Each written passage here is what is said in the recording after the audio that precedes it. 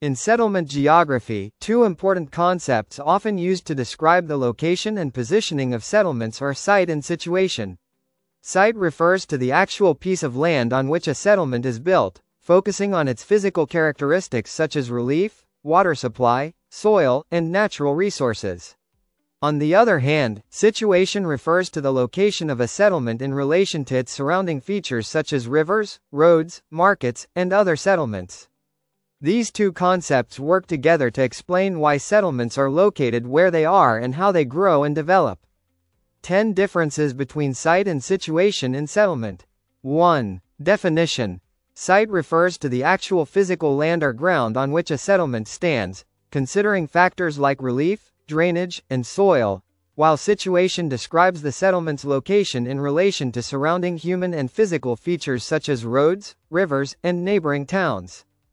2. Focus. Site focuses on the immediate natural characteristics of the land itself where the settlement is established, whereas situation focuses on the external connections and position of the settlement within a wider area.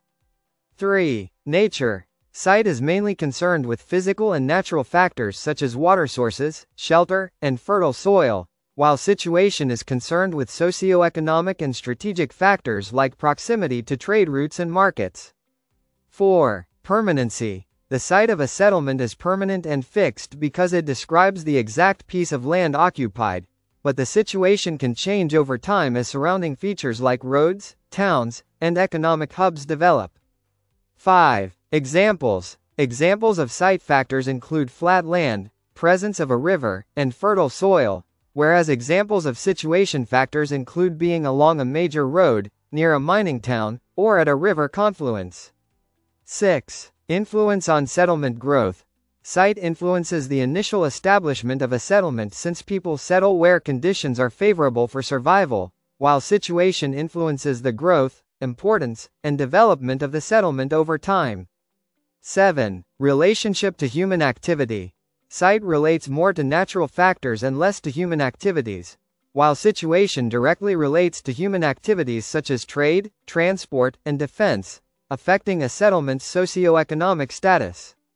8. Impact on settlement function. The site can determine the type of economic activities done locally, e.g. fishing near a river. Whereas the situation can determine a settlement's role and function within a region, such as becoming a trade center or administrative capital. 9. Change over time. Site characteristics such as relief and soil remain largely unchanged, while situation can evolve as transport networks, industries, and neighboring settlements develop or decline. 10. Strategic importance. The site determines if the land is safe and suitable for settlement in terms of physical conditions, while the situation determines the strategic importance of a settlement in regional or national networks for trade, defense, or administration.